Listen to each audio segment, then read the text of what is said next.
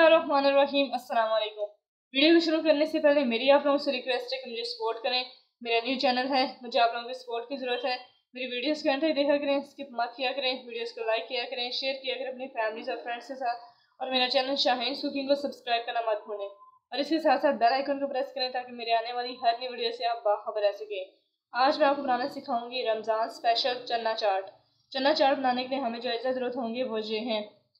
चने एक किलो और मैंने को उबाल लिया है। अब चना चाट में दही ज़्यादा डलता है, इसलिए दही मैंने दो किलो लिया है। प्याज दो अदद बारीक कटे हुए। टमाटर तीन अदद। उबले हुए आलू तीन अदद। सब्ज मिर्च पाँच अदद। पुदीना एक गड्डी। चाट मसाला एक खाने के चम्मच। माशाल्लाह से हमारा रमज़ान स्पेशल चना चाट तैयार हो गया है। रेसिपी ज़रूर ट्राई करें। अपनी राय का इजहार कमेंट बॉक्स में ज़रूर दें। वीडियो को लाइक और शेयर भी करें। मुझे दीजिए इजाज़त। खुदा हाफिज़।